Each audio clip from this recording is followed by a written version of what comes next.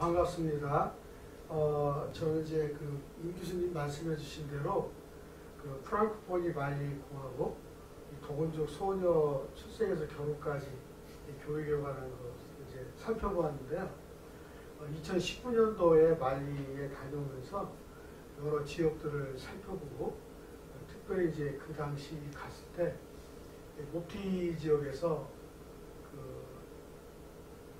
도건족하고 플라니족 사이에 그 분쟁이 좀 일어나서 31명이 사망하는 사건이 발생하기도 했습니다.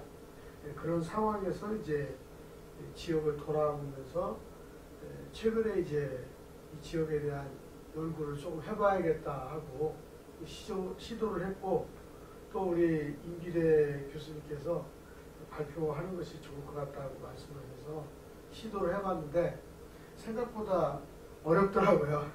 어렵고 굉장히 좀 힘들었습니다. 근데 이 시간에 잠깐 이렇게 해보도록 하죠. 어, 우선 먼저 이 말리 동원족이 많이 살고 있는 어, 지역에 대한 건데 이 지역은 이제 그 마을 자체가 이렇게 반바라 지역이고 해서 좀 되고 있고 서로는 시간이 많지 않기 때문에 예, 지나가도록 하겠습니다. 예, 그이 가족이 배치된 전통적인 전략과 그 다음에 지식, 기술을 습득해서 어떻게 이들이 살아가고 있는지 또 각 연령대에 어떻게 예, 이들이 교육을 하고 또 그 교육을 받아서 동원족 사회 공동체로 생활하고 있는지 이런 것들을 좀 살펴보려고 합니다. 그래서 전통적인 동원족 사회에서 보면은 소녀들을 훈련시키는 다양한 방법들이 있는데 주로 이제 에쿠아트 지역에는 거의 비슷한 면이 없지 않아 있지만 그래도 이제 이들 나름대로 그 정체적인 것들을 어떻게 시도하고 있는지 예, 서론적으로 한번 살펴보겠습니다. 그 다음에 이제 2장에서 동원족 사회의 그 이해인데 자연 환경 같은 경우는 여러분들이 이제 교환에 나와 있는 대로 인종계를 보면 먼저 그 만대 계통의 그 사람들이 많고 또 이 만대 계통의 사람들이 많다 보니까 지금 현재 말리 정권을 지배하고 있는 쇼크케이타 푸나 이런 부족들이 주로 정치적으로 힘을 발휘하고 있다고 볼 수 있고요. 언어적으로는 이제 니제르 콩고군에 속하고 반대역의 방어를 많이 사용하고 있다는 것이죠. 거주 지역을 보게 되면 산지 지역이라든지 사해 영향을 많이 받고 대체적으로 이들이 거주하고 있는 지역은 건조합니다.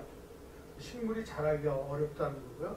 또 우기를 보게 되면 시냇물이 말라있고 영구적인 수로가 없다는 거예요. 그래서 어떻게 생활을 해야 되는지 그들 나름대로 수로를 만들어서 그 자연적으로 살아가야 되는가 이런 그 아이디어가 없어요.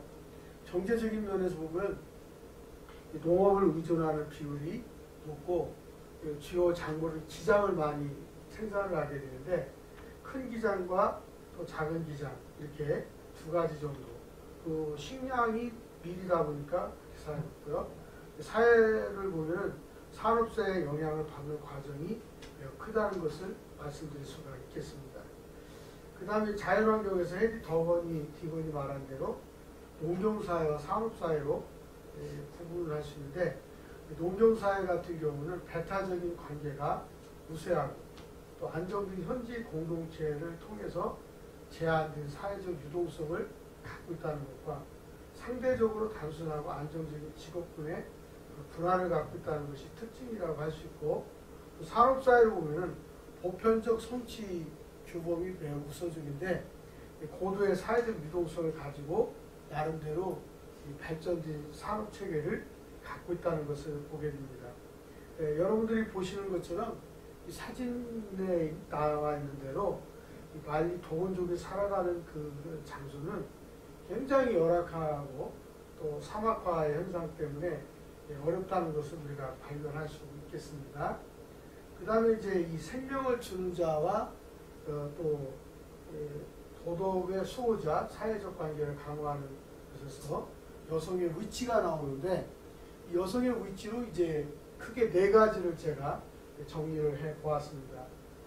종교적 사회적 기능을 위한 운명을 제조하고 또 종족사회의 번영과 확산을 비롯한 생명을 주는 자로서 여성의 위치가 굉장히 중요하다는 것이고요. 또 여성들의 신분 보장, 종족사회 확장을 위한 모체로서 여성을 존중하는데 대체적으로 이제 말리 지역에서 특별히 도건족만큼은 여성에 대해서는 이 남성들이 조금 존중해 준다는 것 이것이 다른 부족하고 차이가 좀 있습니다. 또 가족과 확대 친족 집단은 자체 이동을 해서 여성에 대한 사회적 또 경제적 기능을 수행하는 위치에 있도록 하는데 대표적으로 이제 말씀드리면 여성이 농업을 하거나 생산활동에 가담을 할 경우에는 그 경제적인 이익을 여성이 가질 수 있도록 보장되어 있다는 거예요. 이런 것이 이제 말리 사회에서 조금 다른 부분이라는 것을 발견할 수 있습니다. 그 다음에 도건족의 전통과 문화인데 종교적인 특성이 있어요.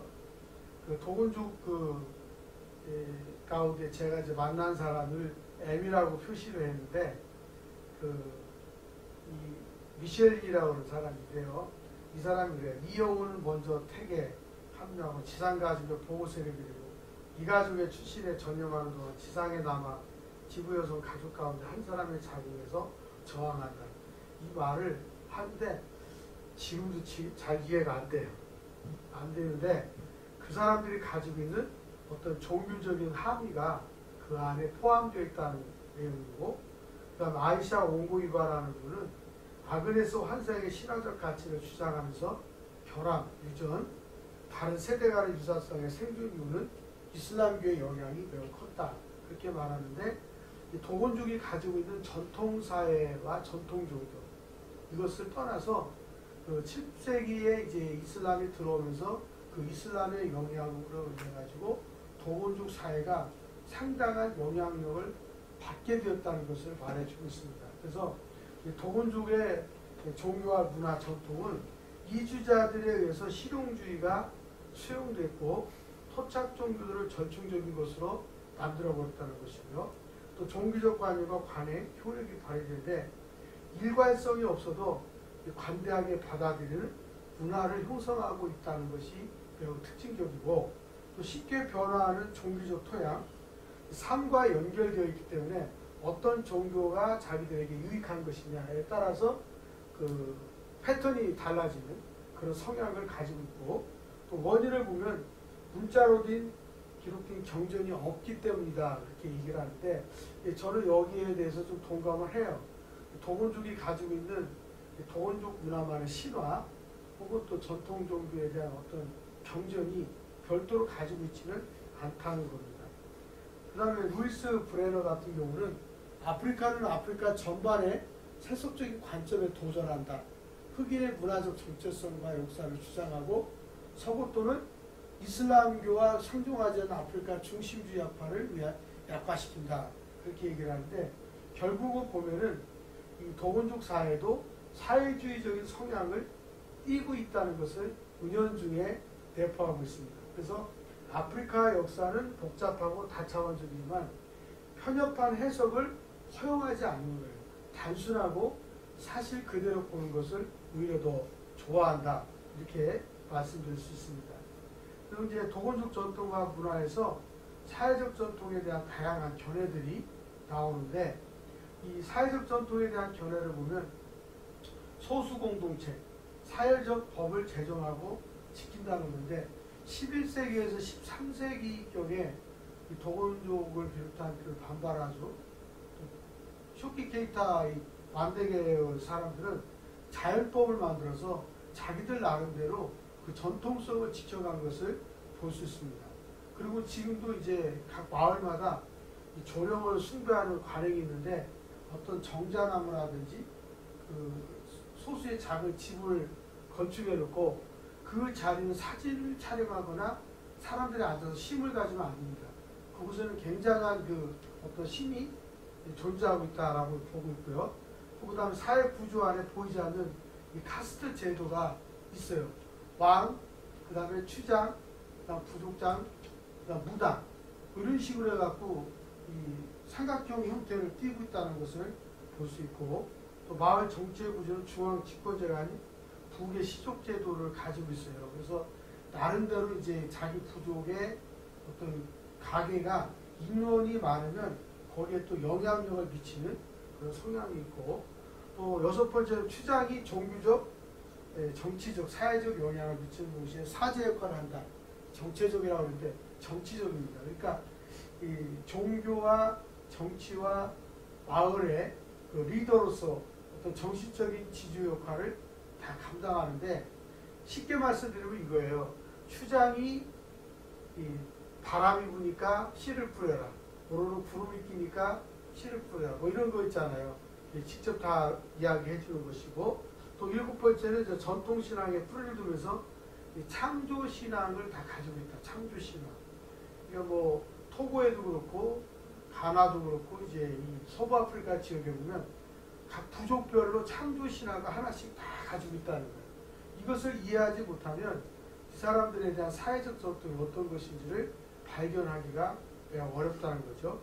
그리고 이제 여덟 번째 가면 의례와 선조 제사, 그러니까 통과 의례에 대한 것을 모두가 다 갖고 있는데 인생의 주기별로 갖고 있는 탄생과 그 다음에 이제 결혼과 사망, 그 장례식 이런 것을 가지고 그 중간에 이제 아이가 언제 태어났느냐는 통과 의례를 통해서 갖고 있고 거기에 이제 이 통과 의례 이전에 또 하나 가지고 있는 것이 뭘까요?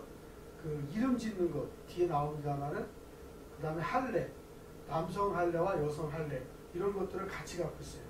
또 아홉 번째는 이제 문화 형태는 실용주의가 가미된 포용적 문화인데 여기서 이제 제가 첨가적으로 말씀드리고 싶은 거는 서부 아프리카 지역에 가장 많은 마스크가 있어요. 앞에서 이제 콩고 시간에서 마스크 얘기를 많이 했는데 이 마스크의 문화가 굉장히 많이 발달되어 있어요. 그래서 이 말리 마스크가 가나, 토고, 베냉, 부르키나파소, 니제르까지 전체적으로 다 이렇게 가미되어 있다는 것을 말씀드릴 수 있고요. 그 다음에 전통적인 상송 문화가 정승되고 있다는 것도 네, 말씀드립니다. 그 다음에 도건족의 전통과 문화에서 사회적 조직인데 같은 혈통, 결혼의 유대, 그 다음에 커뮤니티를 이제 하는데 이 커뮤니티스가 이제 어떤 형태를 띠고 있느냐 굉장히 중요한데 이 부족 공동체에서 가장 중요한 것은 이 종교적인 영향이 매우 크다는 거예요. 커뮤니티스가 그런 것을 들여다보지 않으면 이 사회적 조직을 이해하기가 매우 어렵다는 것이고 두 번째는 이제 사회 위계 지배인데 이런 부분도 이제 가장을 중심으로 한 아내와 자녀들로 구성됐고 종족사회가 연결되고 있다는 것이고요. 또 가정 위계 지배 구조로서 정치적, 종교적, 관습적, 전통적, 종종 문화적 가정과 사회 중심으로 형성되어 있다는 거고 가정에는 남자와 그 아내들, 청소년기 아이와 아버지 쪽, 할아버지 쪽 그래서 집에 같이 거주하는데 그 마당이 이렇게 있으면 한 울타리 안에 여러 집들이 있어요. 그게 다 한 식구입니다. 그러니까 보통 많게는 40명, 적게는 뭐 대여섯 명, 더 많으면 120명까지 이렇게 한 마을 공동체를 가지고 있어요. 그래서 이 어린아이부터 청년에 이르기까지 한 울타리 안에서 똑같이 공동체 생활을 하고 있다는 것이 가정의 질서, 위계 질서를 하는데 그, 그 위계 질서를 어떻게 하냐면 일부 다처주의인 경우에는 그 부인 한 명마다 집이 다 따로따로 있거든요. 그런데 저녁 때 식사를 같이 하면서 아버지의 권위로 가족의 전체를 들여다보고 자녀들을 훈계하고 가르치는 그런 것이 하나의 가정의 위계 질서라 이렇게 말씀드릴 수 있습니다. 시간이 많이 갔죠. 네, 5분 남았대요. 이게 중간에 좀 들, 지나가고요. 여기 지금 삼각형식으로 되어 있는 이런 집들은 공식 창고입니다. 만약에 참고해 주시면 되겠고 네, 도건족 사회에서 전통적인 교육을 잠깐 들여다보는데 여성의 교육의 목표와 역할이 나오고 소녀 교육의 통합성이 나오는데 이것은 이제 정치적, 경제, 사회문화적으로 어떻게 할 것이냐 여성의 역할로서 토지, 가축, 노동력, 자신이나 이런 부분을 어떻게 할 것이냐 하는 부분이고요.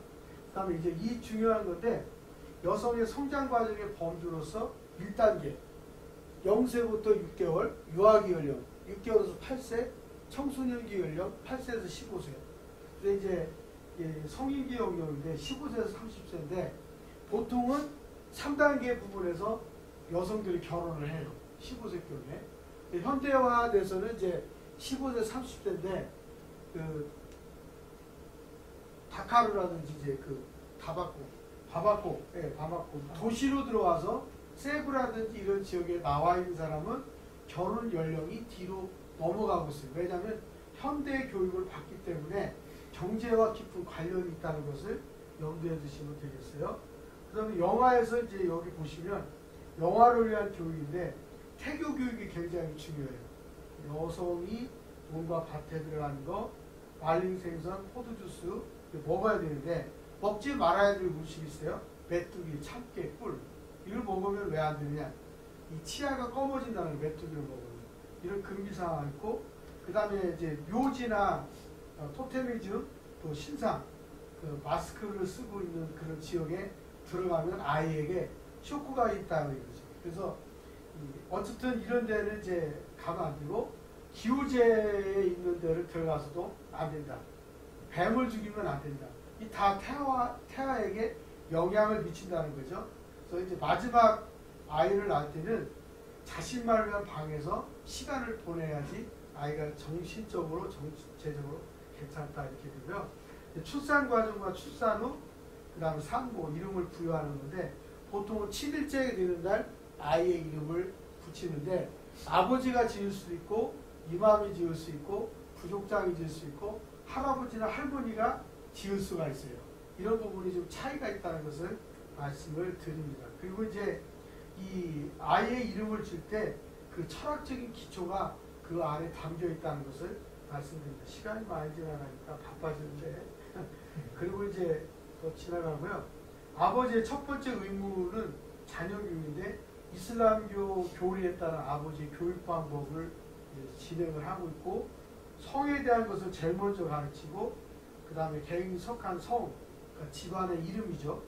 그 first name에 대해서 그다음 집단적 성격 이런 것들을 좀 가르치고 있다는 것을 말씀드리고 요 유아기를 좀 제가 말씀드리겠는데 그 의사소통의 원천에 따른 다양한 반응이 어릴 때 나타나기 때문에 이때 이제 어머니의 역할이 크고 많은 책임을 부과하는데 보통은 7개월까지 이제 같이 지내면서 걷기 교육을 시키면서 관계성 교육을 많이 시킨다 그래요.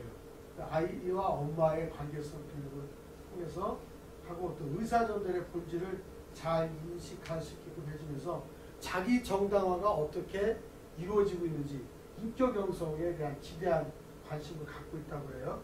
그래서 이 청소년기를 또 넘어가서 보시면 상당한 건데 1에서 8까지를 쭉 보시면은 사회적 도덕의 가르침부터 시작해서 아침 인사 교육을 하는데 아침 식사를 하면 꼭 안녕하세요. 이걸 꼭 하죠. 노인에 대한 공손함을 표현하고 또 식사 전에 손 씻고 식사 후에는 꼭 똑같지 마. 까리까리 고맙습니다라는 감사합니다. 인사를 꼭 해야 됩니다. 이 식사 후에 이 인사를 하지 않으면 말리의 도건적 교육에 실패해요. 이것이고 또 성숙한 소녀로 양육을 다하면 자기 스스로 통제하고 타인을 있는 거. 그 다음 여섯 번째 보면 가장 중요한 건데 어머니의 행동을 모방하는 거예요. 그 부엌에서 이제 어머니와 같이 식사를 준비하고 절구통을 찍고 우물에 가서 물을 떠오고 이러는 것이고요.